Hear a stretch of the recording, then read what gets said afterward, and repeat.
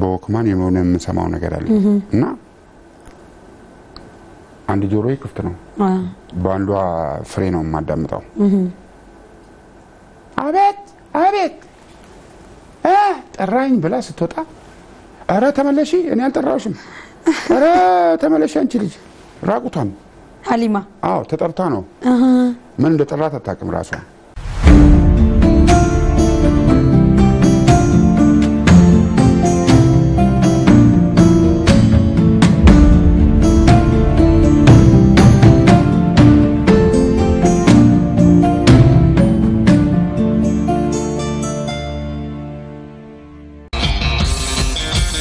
በጣም የሚገርመኝ ነገር ጌቾ እጅግ በጣም የተለያዩ ድምፆችን ያወጣልና በጣም ነው የሚያስደንቀኝ። በጣም የተለያዩ ድምፆችን ሲያወጣ ይሄ ነገር ጌችዬ ጠይቄ አላቅም። ያው አሁን ጠይቅህ ብዬ ነው በልምድ ነው ወይንስ የተፈጥሮ ነው? በጣም የሚያስደንቅ ነገር ነው። እኔና ጌቾ ብዙ ገጠመኞች አሉን፣ ግን አንድ በጣም የማረሳ ሁሌ የማስታውሰው ገጠመኝ ሱዳን ሀገር ለስራ ሄደን የሆነ ትልቅ ሆቴል ነውና ብዙ ሰው ገብቶበት አያውቅም። ብዙ ጊዜ ሆኖ ከተዘጋ እና ለክብር ብለው ነው የከፈቱልን ለኛ። በኋላ እዛ ግን ስንገባ እንደዛ አይደለም የገጠመንን በጣም አስደንጋጭና አስፈሪ ነገር ነው የገጠመንና ይሄን ነገር ጌቾ እስቲ እንደው አብራርተህ ብትነግረን አንድ ላይ እኔም እንድሰማው። ጌቾ የተለያየ ታለንት አለው። እንደነገርኳችሁ፣ ያው በሙዚቃው በጣም ብዙ ነገር ከፍ ያለ ነው እና ጌቾ አማርኛ ሙዚቃ ጠይቄው አላውቅም በእርግጥና ሁሌ ግን ማስበው ነው ለአማርኛ ሙዚቃ እንዴት ነው የመስፈን ሀሳቡ አለ ሆይ? ቢዘፍን በጣም ደስ ነው የሚለኝ ምክንያቱም የብቃቱን ስለማቀው እና የመስፈን ፍላጎቱ አለ ሆይ ጌቾ በጣም ቆንጆ አልበም ሰርቶ በጣም ረጅም ጊዜ የተቀመጠ ስራ አለው እና በጣም የሚገርመኝ እሱንም ጠይቄው ብዙ ጠይቄ ጠይቄ ሰልችቶኝ ነው ያው እና ግን እስቲ አሁን በሰፊው ደግሞ መልስ እንዲሰጠኝ ስለፈለግኩኝ ለምንድን ነው ያኔ መሰለ ስራ ማታወጣው? ለምንድን ነው ያዘገየኸው? እና በጣም የሚያሳሳ ስራ ስለሆነ ነው ግፊት አድርገንበት እንዲያወጣ ስለፈለግኩ ነው እና ስለዚህ እስቲ እንዲነግረኝ በጣም የሚገርመኝ ነገር አለና በጣም የማርና የቅቤ አፍቃሪ ነው። ወዳጅ ብቻ አይደለም እና ቤቱም ስንሄድ ማርና ቅቤ ነው ሁሌ እና በጣም የሚገርመኝ ነገር አንዳንዴ ተመሳስበው ያው እኔ በጎንፎ ነው እና የጌቾ ግን ማርና ቅቤ ሆኖ እንደዚህ አይነት የሚስረቀረቅ ድምፅ እንዲኖር ያደረገው ብዬ ሁሌ ላለና ሁል ጊዜ ማር ነው የሚጋብዘኝ ጌቾ ማር ቅቤ በጣም እንትን እስኪል ድረስ ነው እና በጣም ነው የሚገርመኝ እና ሚስጥሩ ምንድነው ንገረኝ።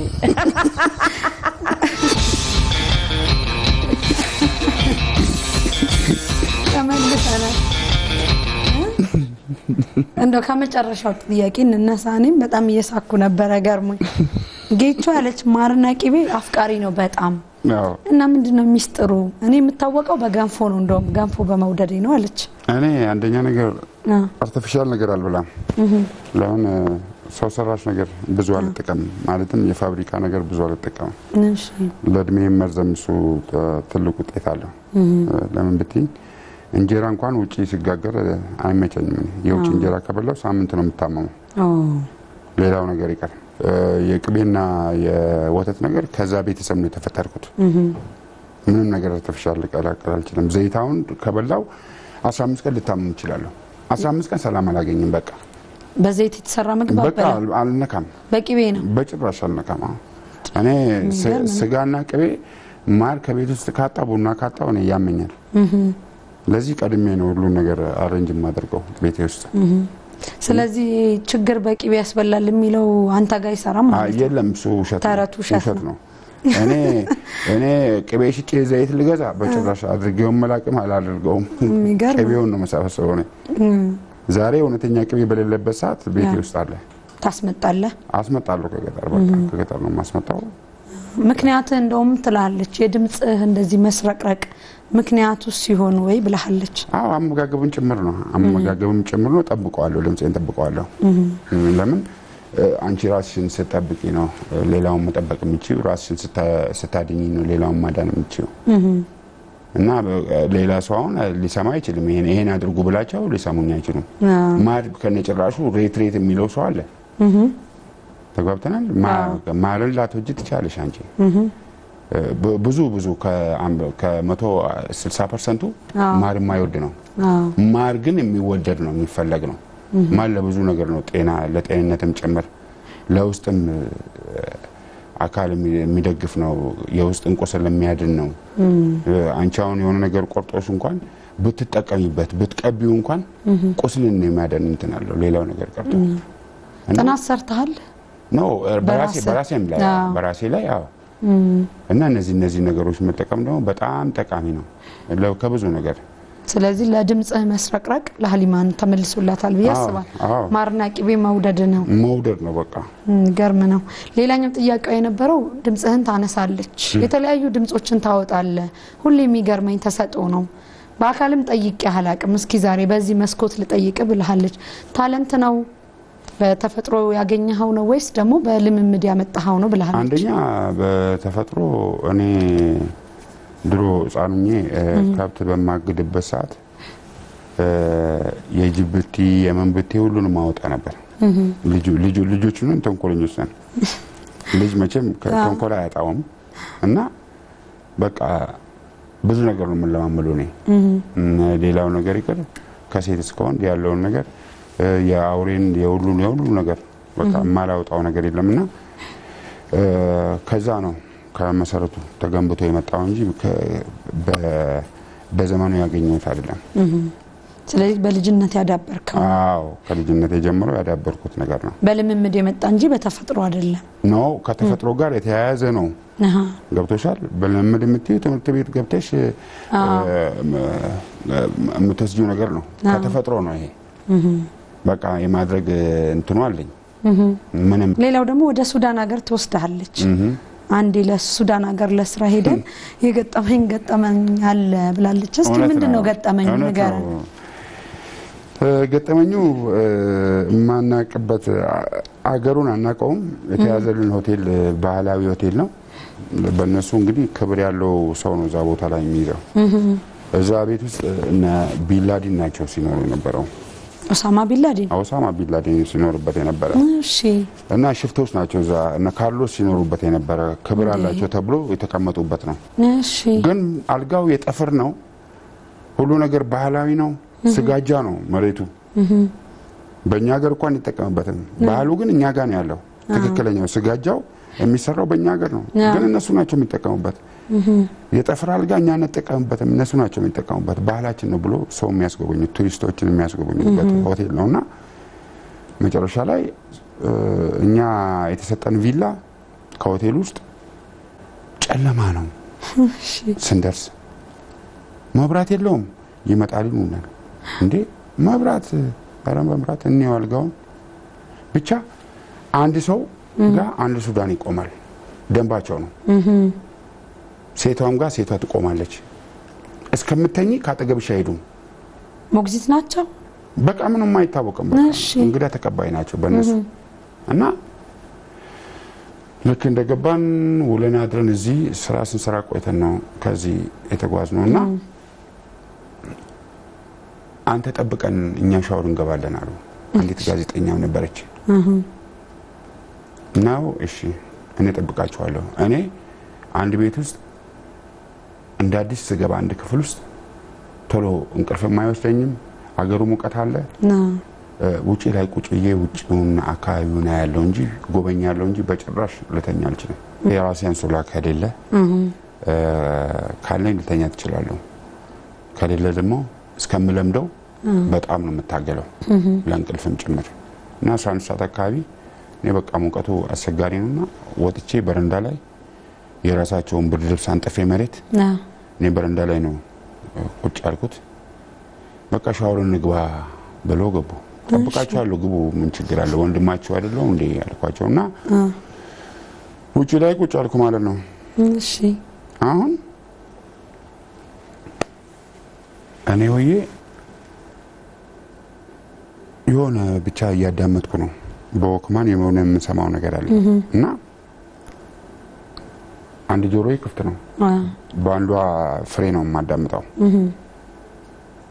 አቤት አቤት እ ጠራኝ ብላ ስትወጣ ኧረ ተመለሺ፣ እኔ አልጠራሁሽም።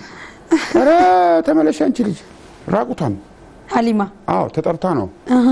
ምን እንደጠራት አታውቅም ራሷ። እሷ ነች የምትሰማው እንጂ እኔ አልሰማም። አንተ እየጠበካቸው ነው። እኔ እየጠበኳቸው ነው። ማን ጠራሽ? ኧረ በፈጣሪ ተመለሺ። ኡኡ የጠራኝ መስሎኝ እኮ ነው። ሰው ጠርቶኛል። ተመለሺና ታጠቢ። ተመልሰ ስትታጠብ እንደገና ውሃው ጠፋ። እንደገና ያችኛዋም አቤት ብላ መውጣት። ጋዜጠኛው ኧረ ተመለሱ እንደገና በብርድ ልብስ ታፍ ነው እና የሆነ ቤቱ ያለው መንፈስ ጥሩ አይደለም። ጨለማነቱም ደስ አላለንም። የሰዎቹ እኛ ላይ መቆምም ጥሩ አይደለም። በቃ የሆነ ባህላዊ ሊያሳዩን ብሎ ጨለማ ውስጥ ከቶን አንደርግራውንድ ሶስት ፎቅ አለ ወደታች። አመንሽም አላመንሽም በቃ ትልቅ በቃ የሚያስፈራራ ፊልም የምሰሪበት ቤት ነው። ለክብር ብለው ወስደው ለክብር ብሎ ወስዶ ሰቀሉን። ያንን ነገር ነው የማውቀውና እሷም ደንግጣ በቃ ከዚህ ቤት እንውጣ ብለን አምባሳደሮቹን ጠርተን አስወጥቶን ሌላ ሆቴል አስገቡም ማለት ነው። ከዛ በኋላ የሚገርም አጋጣሚ በጣም ኃይለኛ አጋጣሚ ነበር። ሌላኛው ጥያቄዋ ደግሞ የነበረው በተለይ አንተ ተሰጥኦአለህ ብዙ አማርኛ ሙዚቃ ግን ስዘፍን አይቼ አላቅም ለመዝፈን ሀሳቡ አለ ወይ ብለሃለች። ሀሳብ ብቻ ሳይሆን መስፈን ይችላለሁ መቶ በመቶ ግን ያለው ወቅትና ጊዜ እ፣ ምቹ ጊዜ አልሰጠንም። እኔ ከዘፈንኩኝም ደግሞ በጣም ጥሩ ግጥምና ዜማ ነው የምፈልገው። አልበም እየሰራህ እንደሆነ አውቃለሁ፣ ግን ረጅም ጊዜ ፈጃ ይሄ አልበም ለምን ቶሎ አታወጣውም? እኔ ብዙ ጊዜ ጨቅጭቄ ያለው ቶሎ አታወጣም አልበምህን ለምንድን ነው ብለሃለች። አዎ እሷ የምታውቀው አንድ ሌላ አልበም አለ። እኔ ሶስት አልበም ሰርቼ ነው ቁጭ ያልኩት። አሁን የሚወጣ ሶስት አልበም አንደኛው ከተሰራ አሁን አምስት አመቱ ነው። አምስት አመት ሊሆነው ነው ተሰርቶ ከተቀመጠ ያለቀ ነው። ያለቀ። ለምን ጊዜያቶች ይሄዳሉ። አብዴት እያደረግሽ ካልሄድሽ በስተቀር አንድ ቦታ ላይ ቆመሽ መሰሪያቸው ማወቅ ደግሞ በጣም መጥፎ ነው። የመጨረሻ የዜማን አካሄድ፣ የግጥምን አካሄድ፣ የሙዚቃን አካሄድ ስታቂ ይሄኛውን ጥለሽ ደግሞ እንደገና ሌላ ነገር ነው መሰሪ ገብቶሻል ነበር እና ሶስተኛ አልበም ነው እየሰራው ያለሁት። አንዱ ዶክተሬ ነው የሰራው ከዶክተሬ ጋር ስንጀምረው በፍቅር ነው የጀመርነው። አሁን የሚሰራበትን መሳሪያ ጭምር ከየት መጥቶ እንደጀመረው በእኔ እጅ ነው ያለው። መሳሪያው ጭምር የስቱዲዮ እቃ ጭምር። ምንም የሌለው ሰው ሰርተን እዚህ ጋር ጥሩ ደረጃ ላይ ስንደርስ ቅር ያሰኘን ጀምር መሰለሽ የነበርሽበትን ቦታ ማስታወስ ቆንጆ ነው። እኔ ከልጅነቴ እዚህ ጋር ስደርስ ቆሎ ሽጬ ንፍሮ ቀቅዬ ሽጬ ብዙ ችግሮችን አሳልፌ ነው እዚህ ጋር የደረስኩት። ውትድርና ሲሄድም ብዙ ፈተናዎችን አሳልፌ ከዘንዶ አፍ አምልጬ ከብዙ ውጣ ውረድ አምልጬ ነው እዚህ ጋር የደረስኩት። ሺህ ጊዜ ሙቼ ሺህ ጊዜ ያስነሳኝ ፈጣሪ ነው። ለምንድን ነው? እምነት ስላለኝ በሱ ላይ ምንም ነገር አላጋራም። በሱ ላይ እምነቴ ጽኑ ነው። ሰው ያደርግልኛል ብዬ ሰው ተማምኜ አላውቅም። ይታገላለሁ። ለአንድ ነገር ችግር ሲመጣ ቶሎ መፍትሄ- ነው የምሰጠው እና ያንን ነገር ከሰራን ቆይተናል። የዛሬ አምስት ዓመት ስድስት ዓመት ነው የምነግርሽ። ሁለተኛ እንደገና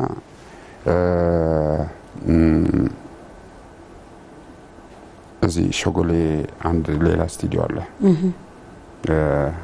ዘመዴ ነው ማለትም አከባለ ሳፎን የሰራልኝ ስቱዲዮ ነው። እዛ ጋም ደግሞ መጥመልመል ሲጀመር ወደኋላ መጎተት አልወድም። እኔ ቀድሜሽ ከሄድኩ ስቱዲዮ ውስጥ ስቱዲዮ ተጣቦ ትጠብቂያለሽ። አንቺ እዛ ቁጭ ብለሽ ሌላ ሰው መጥቶ ዜማ በላይሽ ላይ ሲሰራ ተባበረኝ ብሎ አስገብቶ ሶስት ዜማ አራት ዜማ አቀናብሮ ሲጨርስ እኔ አስር ሰዓት ላይ ግባ ነው የሚባለው።